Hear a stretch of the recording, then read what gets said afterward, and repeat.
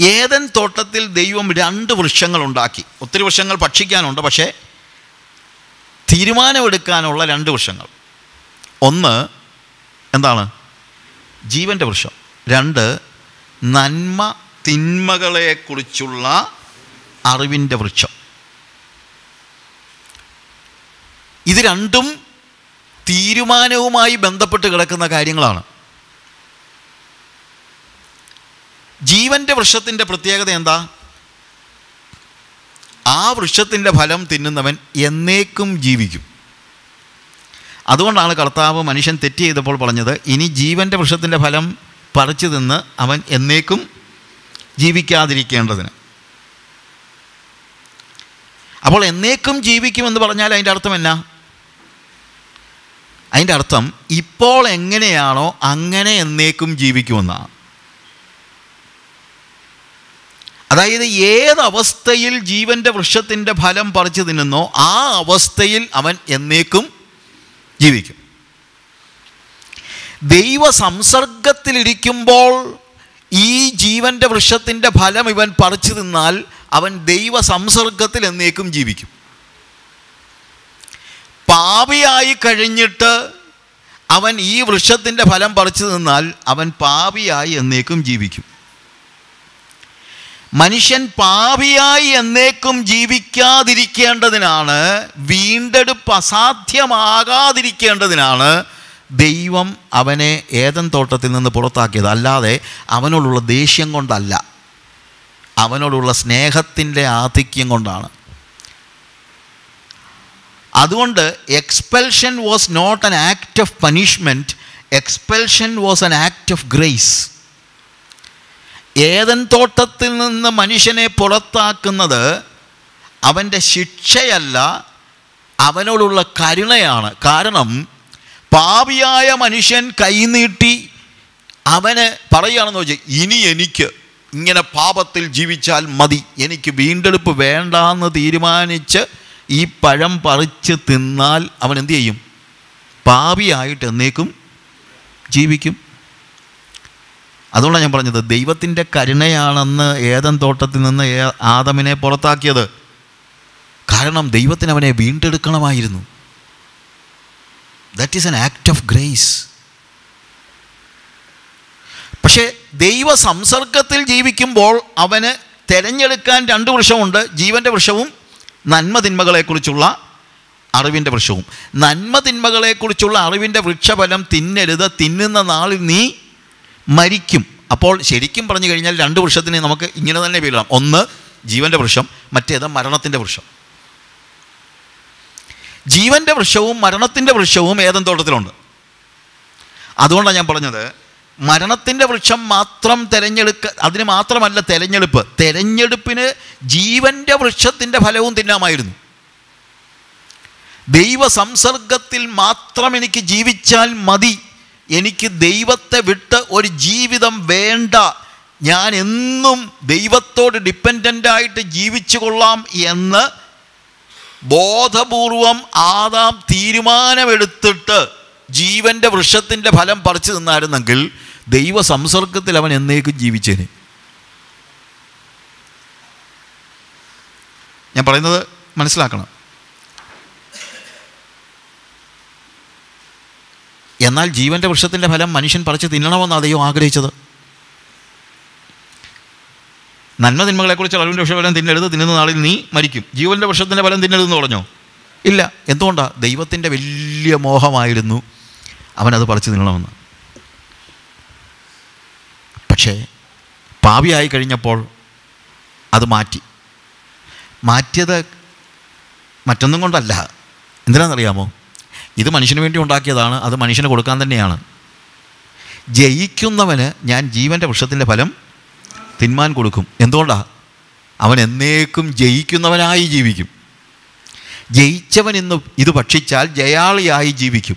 അതുകൊണ്ട് യുഗങ്ങളായി ദൈവം ആ വൃക്ഷഫലം സൂക്ഷിച്ചു വച്ചിരിക്കുക. ഞാൻ ജയാളിയായി സ്വർഗത്തിൽ ചെല്ലുമ്പോൾ എനിക്ക് നൽ- നൽകുവാനായിട്ട് കർത്താവ് സൂക്ഷിച്ചു വച്ചിരിക്കുക. ദൈവത്തിന്റെ മഹാകാരുണ്യത്തെ നമുക്ക് എത്ര സ്തുതിച്ചാലും മതിയാകയില്ല. ഗോഡ് ഈസ് സോ മേഴ്സിഫുൾ എത്ര കരുണയുള്ളവനാ അവൻ അവൻ നോക്കിയിരിക്കുക ഞാൻ ജയാളിയായിട്ട് ചെല്ലാൻ.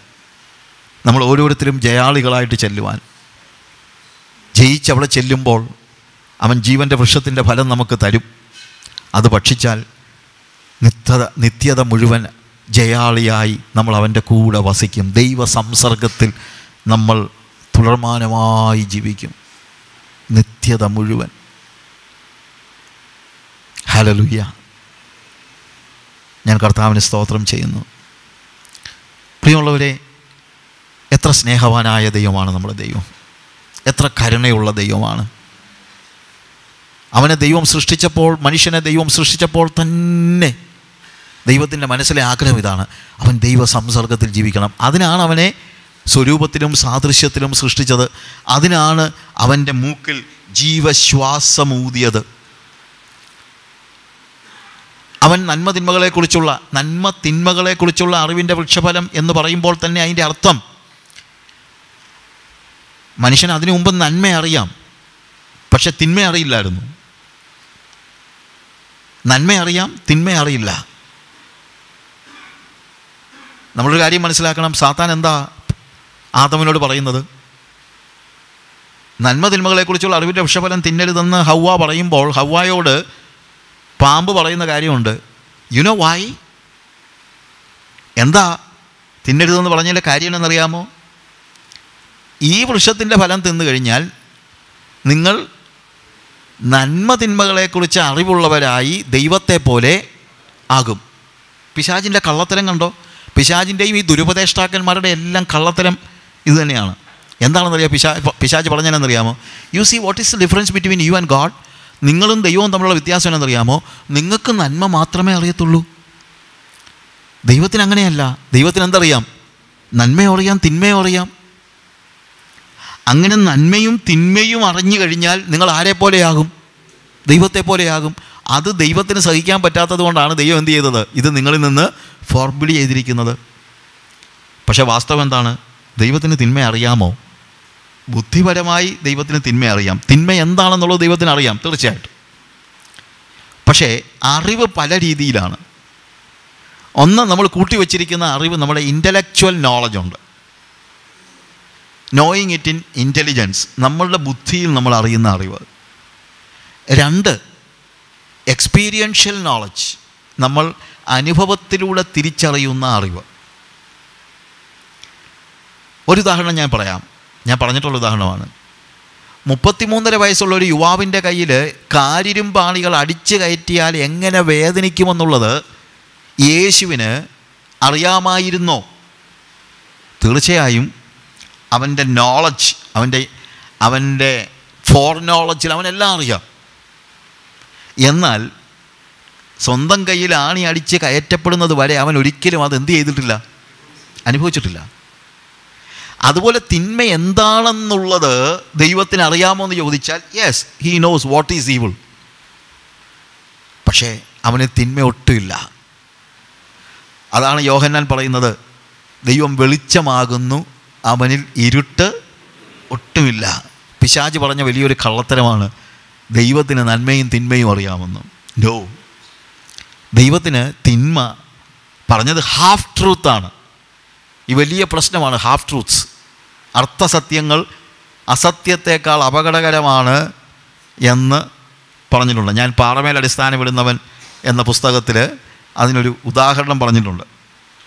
അതായത് മഹാഭാരത യുദ്ധം നടക്കുമ്പോൾ ഈ ദ്രോണാചാര്യർ ഭയങ്കര ദ്രോണാചാര്യരാണ് കൗരവരെയും പാണ്ഡവരെയും ഒരുപോലെ പഠിപ്പിച്ചിട്ടുള്ളത്. അപ്പോൾ അതുകൊണ്ട് ദ്രോണാചാര്യർ ഇപ്പോൾ കൗരവർക്ക് വേണ്ടിയാണ് പോരാടുന്നത് പാണ്ഡവർക്കെതിരായിട്ട്. ബാക്കി എല്ലാവരെയും ശരിയാക്കാം പക്ഷേ അർജുനൻ ആരുടെ അടുത്ത് മാത്രം ഒരു രക്ഷയില്ല? ദ്രോണാചാര്യരുടെ അടുത്ത് അമ്പയ്യാൻ കഴിയില്ല അതിനുള്ള കപ്പാസിറ്റി ഇല്ല. അപ്പോൾ കൃഷ്ണൻ ഒരു വഴി പറഞ്ഞു കൊടുത്തു ഒരു കാര്യം ചെയ്യ്.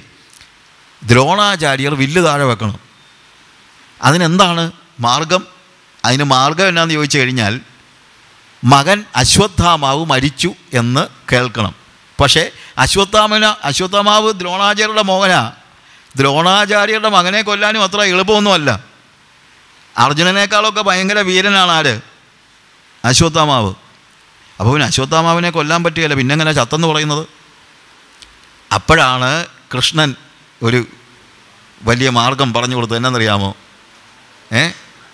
നീ ഒരു ആനെ എടുത്തിട്ട് ഭീമൻ അതിനെ ഗത കൊണ്ട് അടിച്ചു കൊല്ലണം. അതിന് അശ്വത്ഥാമാവെന്ന് പേരിടണം. എന്നിട്ട് അതിനെ അടിച്ചു കൊല്ലണം. അപ്പോൾ എല്ലാവരും കൂടെ പറയും അശ്വത്ഥാമാവ് മരിച്ചു. അപ്പോൾ ദ്രോണരും അത്ര മോശമൊന്നുമല്ല. ഇത് കള്ളമാണോ ഇല്ലയോ എന്ന് അറിയത്തില്ലല്ലോ അതുകൊണ്ട് അശ്വത്ഥാമാവ് മരിച്ചു. ഇത് നടന്നു. ആനെ പിടിച്ച് അശ്വത്ഥാമാവെന്ന് പേരിട്ട് ഭീമൻ അതിനെ അടിച്ചു കൊന്നു. അടിച്ചു കൊന്നു കഴിഞ്ഞ് എല്ലാവരും കൂടെ കൂവി വിളിച്ചു അശ്വത്ഥാമാവ് മരിച്ചു. അപ്പോൾ ദ്രോണർ ഒരു നിമിഷം ഒന്ന് പാളി എന്നിട്ട് ധർമ്മപുത്രരോട് ചോദിച്ചു ധർമ്മപുത്രരുടെ പ്രത്യേകത എന്നാന്ന് ചോദിച്ചു കഴിഞ്ഞാൽ എന്ത് പറഞ്ഞാലും കള്ളം പറയത്തില്ല. അപ്പോൾ ധർമ്മപുത്രരോട് ചോദിച്ചു ധർമ്മ ശരിയാണോ പറഞ്ഞത്? അശ്വത്ഥാമാവ് മരിച്ചോ? ഉടനെ ഉറച്ച് ധർമ്മപുത്രർ പറഞ്ഞു മരിച്ചു. അശ്വത്ഥാമാവ് എന്ന ആന മരിച്ചു. എന്ന ആനയെന്നും കൂടെ ഇടയ്ക്ക് ചേർത്തു. അപ്പോൾ സത്യമാണോ എന്ന് പറഞ്ഞാൽ സത്യമാണ് പക്ഷേ അർത്ഥസത്യമാണ്. ഈ അർത്ഥസത്യങ്ങൾ അസത്യത്തേക്കാൾ അപകടകരമാണ്. ഒരു നിമിഷം കൊണ്ട് ദ്രോണാചാര്യർ ഒന്ന് പാളി. ആ സമയം കൊണ്ട് അർജുനൻ ദ്രോണാചാര്യരെ അമ്പെയ്തു ഇതാണ് മഹാഭാരതത്തിലെ കഥ. അർത്ഥസത്യങ്ങളുടെ പ്രശ്നം. പിശാജ് ഈ അർത്ഥസത്യങ്ങളുടെ രാജാവാണ്. അവൻ പറയുന്നതെല്ലാം അർത്ഥസത്യങ്ങളാണ്. അവനൊരിക്കലും സത്യമല്ല പറയുന്നത്. അർത്ഥസത്യങ്ങളാണ്. അവൻ പറഞ്ഞു ഈ നന്മ നന്മതിന്മകളെക്കുറിച്ചുള്ള അറിവിന്റെ വൃക്ഷഫലം തിന്നാൽ നീയും ആരെ പോലെ ആകും? ദൈവത്തെ പോലെ ആകും. നിങ്ങൾക്കറിയാമല്ലോ കുറച്ച് കഴിയുമ്പോൾ കർത്താവ് തന്നെ പറയുന്നുണ്ട് ഇപ്പോൾ മനുഷ്യൻ നമ്മിൽ ഒരുവനെ പോലെ ആയി തീർന്നിരിക്കുന്നു അപ്പം സാത്താൻ പറഞ്ഞത് സത്യമാണോ? അല്ല. എന്താണെന്നറിയാമോ? ഡിസിഷൻ മേക്കിംഗ് എന്ന് പറയുന്നത് ദൈവത്തിന് മാത്രമായിട്ട് ദൈവം റിസർവ് ചെയ്ത് വെച്ചിരുന്നതാണ്. തീരുമാനമെടുക്കാനുള്ള അധികാരം. തീരുമാനമെടുക്കാനുള്ള അധികാരം ആർക്ക് മാത്രം ദൈവം റിസർവ് ചെയ്ത് വെച്ചിരുന്നതാണ് ദൈവത്തിന് മാത്രം. എന്നാൽ ഇപ്പോൾ മനുഷ്യൻ തീരുമാനമെടുത്തു തുടങ്ങി. ആ അർത്ഥത്തിൽ മനുഷ്യനിപ്പോൾ ആരെ പോലെയായി ദൈവത്തെ പോലെ ആയി. അല്ലാതെ ദൈവത്തെ പോലെ ആയി എന്ന് പറയുന്നത് ഒരു അർത്ഥസത്യമാണ്. ഓക്കെ അതിന് പുറകിലേക്ക് നമ്മൾ വരുമ്പോഴത്തേക്ക് ജീവന്റെ വൃക്ഷത്തിന്റെ ഫലം തിന്നാൽ നിങ്ങൾ എന്നേക്കും ജീവിക്കും. നന്മ തിന്മകളെക്കുറിച്ചുള്ള അറിവിന്റെ വൃക്ഷത്തിന്റെ ഫലം തിന്നു കഴിഞ്ഞാൽ നിങ്ങൾ മരിക്കും. അപ്പോൾ ജീവന്റെ വൃക്ഷം ഇപ്പോൾ തന്നെ ജീവനാണ് ഒഴുകുന്നത്. കാര്യം അവന്റെ മൂക്കിൽ എന്ത് ചെയ്തു? ജീവശ്വാസം ഊതി. ജീവൻ ഇപ്പോഴും ഉണ്ട്.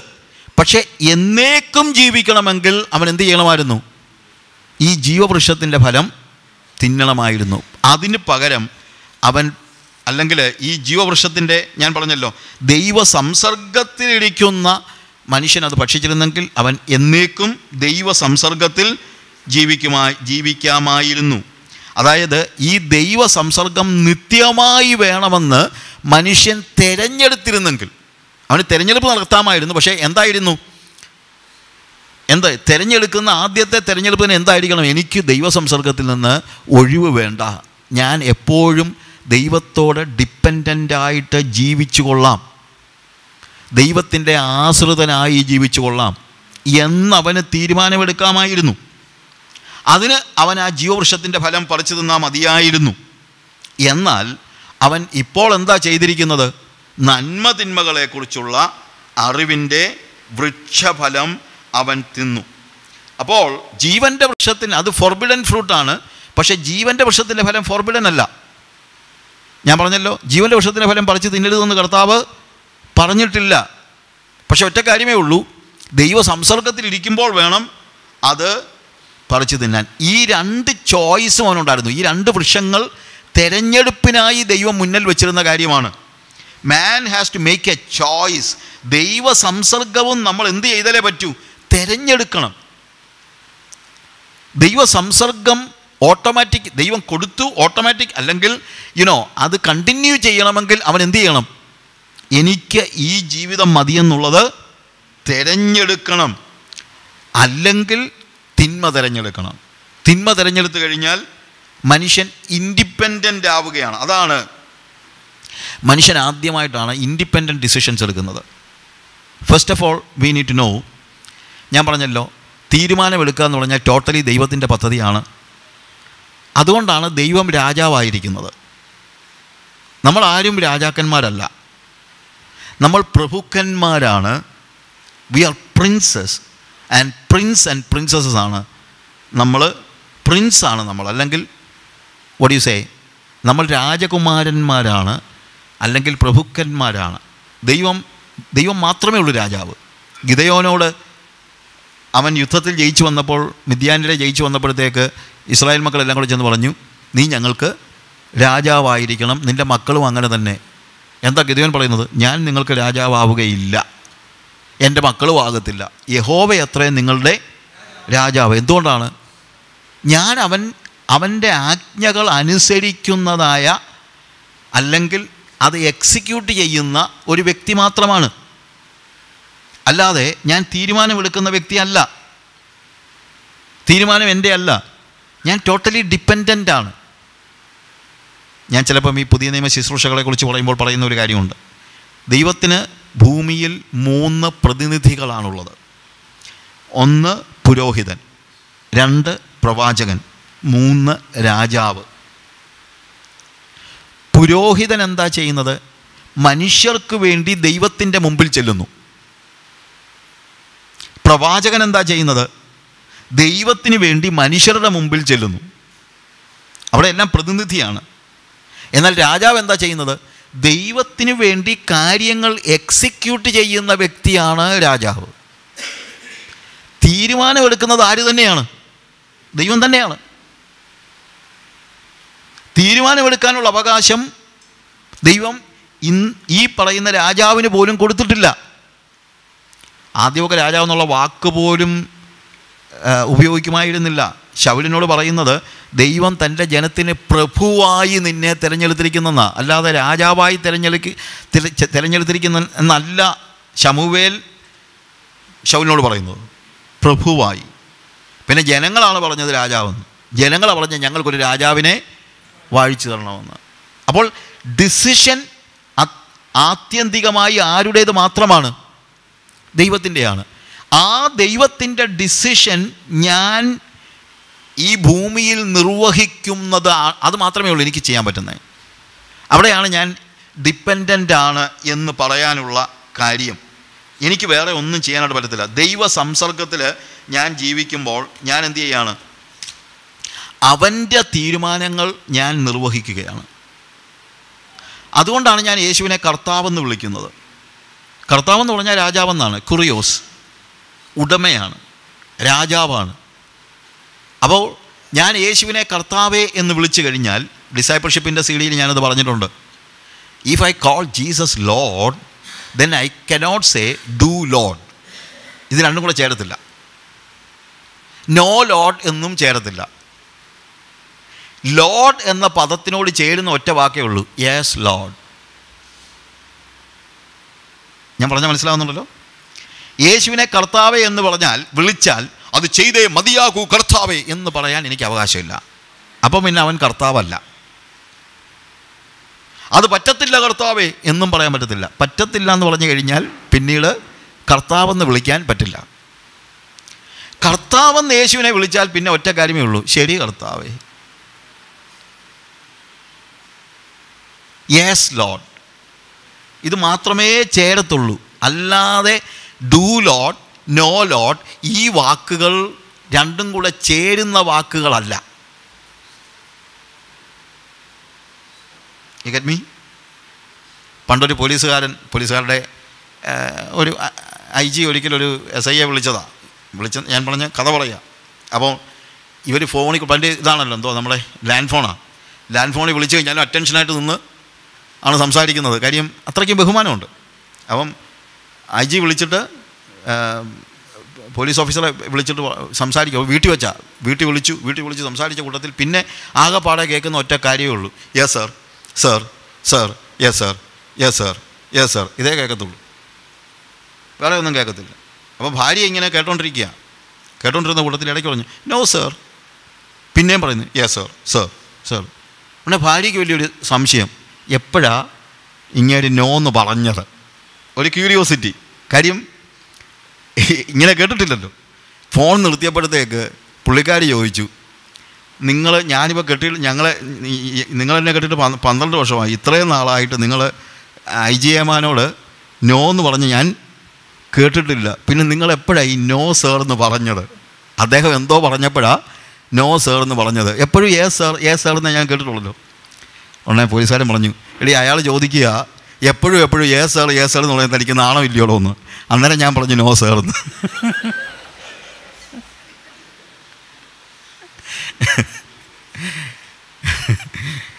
യേശുവിനെ ലോഡ് എന്ന് വിളിച്ചു കഴിഞ്ഞാൽ പിന്നെ അതിനോട് ചേരാത്ത വാക്കാണ് നോ ലോഡ് എന്ന് പറയുന്നത്. ഡു ലോഡ് എന്നും പറയാൻ പറ്റില്ല. പിന്നെ ഞാനാണെല്ലാം ചെയ്യുന്നത്. തീരുമാനം എല്ലാവരുടെയാ. തീരുമാനം ആരുടെയാ? ദൈവത്തിന്റെയാ. അവിടെയാണ് എനിക്ക് ഞാൻ ഇൻഡിപെൻഡൻസ് ഇല്ല. ഞാൻ ഡിപ്പെൻഡന്റ് ആണ്. അതാണ് ലൈഫ് ആ ഡിപ്പെൻഡൻസ് അനുസരണം ആ അനുസരണത്തിന്റെ ഞാൻ ചിലപ്പം ഉദാഹരണമായിട്ട് പറയാറുള്ള ഒരു കാര്യമുണ്ട് it is like you know life നമുക്ക് ഇപ്പം നമുക്കിപ്പോൾ ഓക്സിജൻ ഈ ഇവിടെ നിന്ന് അന്തരീക്ഷത്തിൽ നമുക്ക് ഓക്സിജൻ കിട്ടുന്നുണ്ട്. അങ്ങനെ അല്ലെങ്കിൽ എന്ത് ചെയ്യാൻ പറ്റിയേനെ? ഒരു ഓക്സിജൻ സിലിണ്ടർ ഒരു ട്യൂബിലൂടെ എന്റെ മൂക്കിൽ ഘടിപ്പിക്കുക. അതേ ഉള്ളൊരു മാർഗം. അങ്ങനെ ഘടിപ്പിച്ച് കഴിഞ്ഞാൽ ആ സിലിണ്ടറിൽ നിന്ന് എന്നിലേക്ക് എന്ത് കിട്ടുന്നു? ഓക്സിജൻ കിട്ടുന്നു. പക്ഷേ ഈ സിലിണ്ടറും ഞാനുമായിട്ട് ഒരു ട്യൂബിലൂടെ ബന്ധപ്പെട്ട് കിടക്കുകയാണ്. അപ്പം ഞാൻ ഡിപ്പെൻഡന്റാണ് ഓക്സിജൻ സിലിണ്ടറിനെ ഡിപ്പെൻഡ് ചെയ്താണ് ഞാൻ ജീവിക്കുന്നത്. എന്നിലേക്ക് ലൈഫ് ഒഴുക്കുന്നത് ഈ ഓക്സിജനാണ് ഈ സിലിണ്ടറാണ്.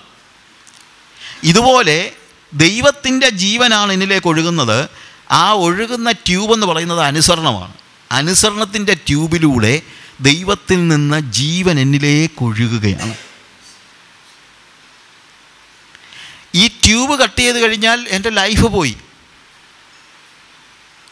പിശാജ് ഹവായോട് പറയുന്ന കാര്യം അല്ലെങ്കിൽ ആദമിനോട് ഹവയോട് പറയുന്ന കാര്യം you are not God because you are not taking decisions you are dependent on God നിങ്ങൾ ദൈവത്തിൽ ആ ദൈവത്തിന്റെ ആശ്രിതരാണ്. കാര്യം നിങ്ങൾക്ക് എന്ത് ചെയ്യാൻ പറ്റുന്നില്ല? തീരുമാനമെടുക്കാൻ നിങ്ങൾക്ക് കഴിയുന്നില്ല. നിങ്ങൾ എപ്പോഴും എന്തേ ചെയ്യുന്നുള്ളൂ? അനുസരിക്കുന്നതേ ഉള്ളൂ അതുകൊണ്ടാണ് നിങ്ങൾ ദൈവത്തിന്റെ താഴെയാകുന്നത്. ദൈവം തീരുമാനമെടുക്കുന്നു നിങ്ങൾ അനുസരിക്കുന്നു. ഇപ്പോൾ നിങ്ങൾ ദൈവത്തിന്റെ താഴെയാണ്. എന്നാൽ ദൈവത്തെ പോലെ ആകാൻ കഴിയും. എങ്ങനെയാ? നിങ്ങൾ തീരുമാനമെടുത്താൽ മതി. Be independent take an independent decision and then you will become like God ഈ ഡിപ്പെൻഡൻസ് കള. ഇതാണ് ശരിക്കും ഞാൻ പറഞ്ഞല്ലോ ഏതൻ തോട്ടത്തിൽ ഒരു പഴം പറിച്ച് നിന്നെന്ന് പറയുന്നതൊന്നും അല്ല പാപം. നമ്മൾ ചിലപ്പോൾ ഒരു പഴം പറിച്ച് നിന്നതിന് ഇത്രയും ശിക്ഷ കൊടുക്കണമെന്ന്. പഴം പറിച്ച് നിന്നത് എന്തുകൊണ്ടാണ്? Because he wanted to be independent he wanted to become like God അവന് ദൈവത്തെ പോലെയാകാനുള്ള മോഹം കൊണ്ടാണ് അവൻ പഴം പറിച്ചു നിന്നത് കൊച്ചു കാര്യമല്ല. അവൻ പറഞ്ഞു എന്റെ ലോകത്തിൽ എനിക്ക് ദൈവത്തെ വേണ്ട. ഞാൻ ദൈവത്തിന്റെ ആശ്രിതനല്ല. എനിക്ക് അങ്ങനെ ജീവിക്കണ്ട. എനിക്ക് ഇൻഡിപെൻഡൻസ് വേണം.